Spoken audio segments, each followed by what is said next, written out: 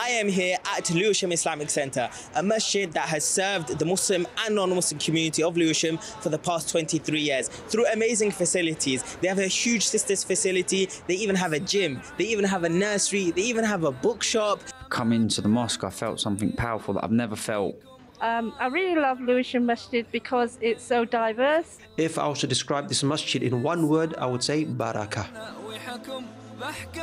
And that's the beginning of my first prayer in American custody. My hands behind my back and a hood over my head and a knife to my neck.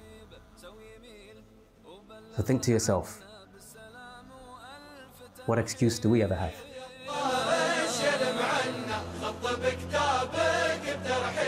لو سرى بك ليلك وجنة